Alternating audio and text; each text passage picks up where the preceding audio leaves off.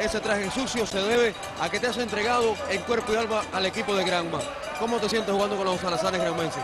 No, muy contento, ¿no? Ya que por segundo año consecutivo ellos confiaron en mí, ¿no? Para estos playoffs. Y nada, lo que hago es, en todos los equipos que estoy, ¿no? Entregarme, hacer mi trabajo. Y nada, las cosas me han salido bien aquí con ellos el año pasado y este año también. ¿Crees que puedan retener la corona los salazanes ahora en las tunas?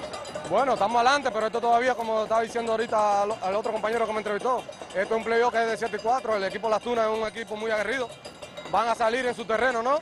Eh, con la inspiración de que fueron con industriales y remontaron, pero bueno, nosotros vamos a ir por toda con el sexto juego, porque estamos adelante, pero nada, yo pienso que al final de todo lo más bonito es que le hemos dado un gran espectáculo al pueblo cubano, ¿no?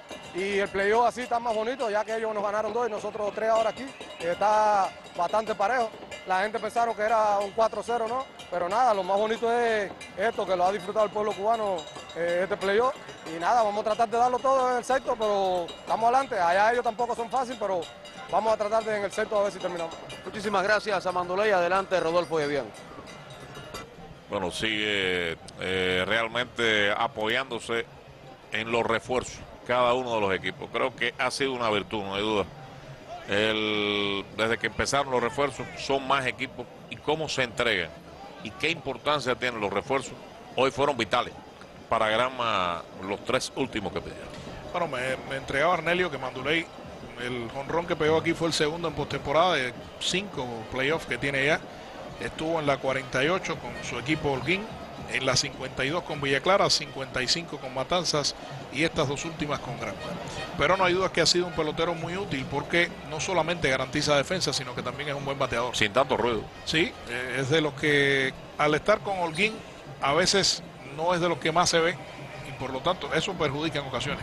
Pero bueno, ya Manduley se ha convertido en uno de los hombres que todo el mundo sabe. Eh, redondea muy bien esa línea central y es un buen bateador, empuja mucha carrera. De todas formas, a partir de ahora habrá que esperar a ver la reacción de este equipo tunero, que a pesar de que aquí cayó tres veces, no se puede decir que no pelearon. No, no, eh, señores, fíjense si, si ese equipo de la Tuna pelea, si ese tipo de equipo de la Tuna es duro, que con cuatro carreras abajo, con una tremenda ventaja, no había tranquilidad, tuvieron que darle la bola a Raidel Martín. O sea, hasta qué punto, pues, había presión. Bueno, ya estamos con Camilo en la conferencia de prensa con el primer equipo que va a prestar declaración. Buenas noches, vamos a dar inicio a la quinta conferencia de prensa correspondiente a este partido de la gran final entre Las Tunas y Granma. Ya contamos con la presencia en la sala de los periodistas acreditados en el evento y también el placer de tener acá al mentor del equipo de Las Tunas, Pablo Civil, y a Daniel Castro, uno de los grandes jugadores de los leñadores de Las Tunas. Como siempre, vamos a comenzar con una valoración por parte del mentor tunero sobre el partido de hoy. Sí, bueno, decirte que por tercera ocasión el picheo eh, de la Tuna eh, falló. Eh, el picheo abridor no, fue capaz de, caminar el partido, el caso de Yorkis Cruz. los relevos tampoco fueron eficientes. Granma, desde el punto de vista ofensivo, supo, supo rápidamente irse por delante. y el equipo de las Tunas, independientemente de que de la ofensiva eh, producimos 14, 14 y, pero no, no, fuimos, no fuimos productivos. Se dejaron dos veces la base llena, se batearon en dos ocasiones para, para el play. La columna vertebral de, nuestra alineación no fue, no fue eficiente y es ahí por eso que, tuvimos que cargar con las derrotas. Vamos a comenzar entonces con las preguntas.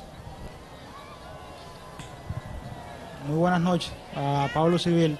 Profe, usted había comentado la posibilidad de utilizar, o sea, eh, tenía posibilidad de varios lanzadores para abrir el primer el partido de hoy. Se decidió al, final por Joaquín Cruz. ¿Qué puede haber incidido en eso? Este fue otro partido que se decide en las tres primeras entradas. Le pasó a Granma allá en Las Tunas, cuando, ustedes, comenzaron delante, le sucede aquí a Las Tunas en el primero y en este tercer partido. Aún cuando no parecía lo más lógico que el pichó abridor fuera el que más fallara en la final. ¿A qué cree que se debe eso? Y para Daniel Castro, han recibido tres golpes muy fuertes aquí en el Mártires de Barbados. ¿Cuál es el ánimo del equipo? ¿Creen que pudieran lograr la hombrada de remontar en las tunas como lo hicieron frente a Industriales? Bueno, primero, eh, decirte que Joel es uno de los lanzadores eh, de más experiencia, el lanzador que más ganó, más juegos ganó en la serie, 14 partidos. Eh, nosotros hicimos un análisis bien profundo en el trabajo de mesa que se hizo y nos decidimos por, por Joel Cruz tenías dos salidas anteriores que no sido de manera, de manera eficiente, pero bueno, esperábamos que, su salida, su salida decorosa, su buena salida, fuera en el día de hoy. Fue negativa de nuevo y es ahí el resultado del equipo. Nosotros eh, siempre respetamos el resultado de, cada lanzador, de cada jugador como tal. Y nos decidimos por Joelki, así de, así de sencillo. No, ya como ustedes vieron, ya eh, nos dieron tres golpes y sé que son tres golpes que, pueden doler, pero, nada, el equipo eh, le podría decir que, está tranquilo, eh, esto no, se acaba hasta que no se acaba. En estos momentos creo que lo más lógico es hacer un análisis profundo de todos los jugadores, de los lanzamientos que estamos fallando, por, las posiciones anotadoras, que es lo que nos está afectando. Y nada, eh, respetando a Grama, pero va a tener que pelear duro todavía allá en las tunas. Continuamos con la próxima pregunta. Joel. Buenas noches, profesor Pablo Civil. Bueno, profe, quería comentarle dos. Ustedes han, son el equipo que más ha remontado en los playoffs, sin embargo, no ha podido hacerlo ahora con, con Granma. Un comentario de que si cree o considera que incluso algunas, algunas discusiones internas que vimos hoy en el terreno, eh, algún problema incluso con, con el conteo de- del árbitro pudo haber incidido o no en esos primeros cines en que Yoaki se fuera de picheo. Y en el caso de Daniel, bueno, quería preguntarle si, si a pesar de que, bueno, esta temporada ya las Tunas ha logrado un resultado histórico, eh, ¿piensa Daniel que esta va a ser su última campaña, ya lo decidió para, para su retiro, o todavía podemos esperar con Daniel en la próxima serie? Sí, mire, comentarle que tal vez por la inexperiencia en playoff hayan sucedido algunas incongruencias, algunos desacuerdos desde el punto de vista de conteo. Eh, tal vez Joelki en algún momento haya, haya, haya estado en desacuerdo, pero al final el árbitro es que decide. Eh, nosotros en el dogado sencillamente lo que hicimos fue eh, llevar al equipo a la calma, eh, tratar de, de que el equipo se concentrara en el partido de pelota. Ustedes vieron que en ese mismo primer inning se cometió un error, lo cual costó carrera.